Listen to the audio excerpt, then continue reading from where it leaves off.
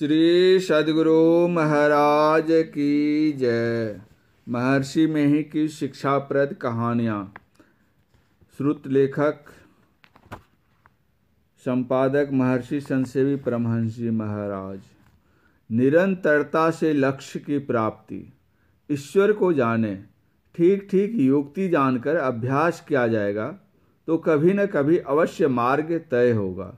चाहे हज़ारों कोष का रास्ता क्यों न हो, जो चलता है, घबराता नहीं है, चलने में अनवरत रूप से चलता है, चाहे धीरे धीरे ही चले, कभी न कभी निर्दिष्ट स्थान पर अवश्य पहुँचेगा।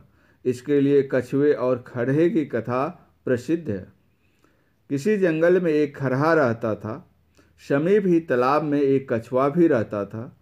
एक दिन दोनों में परस्पर भेंट हुई।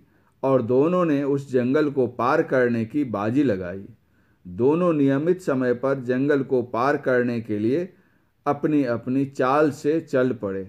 खड़ा छलांग मारता हुआ बहुत आगे बढ़ गया और पीछे उलट कर देखता है तो कछुए का कहीं पता नहीं है। खरहा मन में सोचने लगा, भला कछुआ कब मुझसे आगे बढ़ सकता है? अच्छा कुछ देर इसी झाड़ी में आराम कर लूँ। फिर छलांग मारता हुआ जंगल को पार कर जाऊँगा। यह स्वाभाविक बात है कि चलते चलते बैठने की, बैठने पर लेटने की तथा लेटने से सोने की इच्छा होती है। ठीक इसी तरह खरहे की हालत हुई। वह आराम करना चाहता था, लेट गया और प्रगाढ़ निद्रा में सो गया। उधर कछुआ धीरे धीरे आ रहा था। आते आते वह वहाँ पहुँचा, जहाँ खड़ा गहरी निद्र में, निद्रा में बेहोश पड़ा था। खड़े के, को निद्रा में देखकर कछुआ दबे पैर आगे निकल गया और चलते चलते उस जंगल को पार कर गया। जब खरहे की नींद टूटी, तब उसने चलना आरंभ किया और चौकड़ी भरता हुआ जंगल को पार करने पर वह देखता है कि कछुआ पहले से ही वहाँ बैठा हुआ है। यह देखकर उसे बहुत लज्जा हुई और उसे नीचा देखना पड़ा। अंग्रेज़ी की एक छोटी सी किताब में मैंने पढ़ा था slow and study wins the race अर्थात धीरे धीरे ही हो, किंतु जो अनवरत रूप से चलता है, उसी की जीत होती है।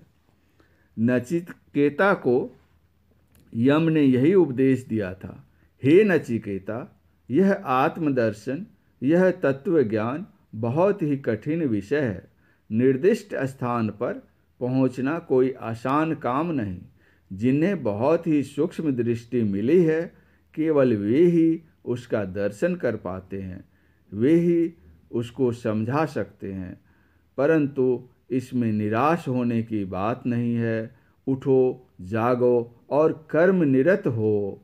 जब तक लक्ष्य पर न पहुँच सको, अपने उद्योग में शिथिलता मत आने दो।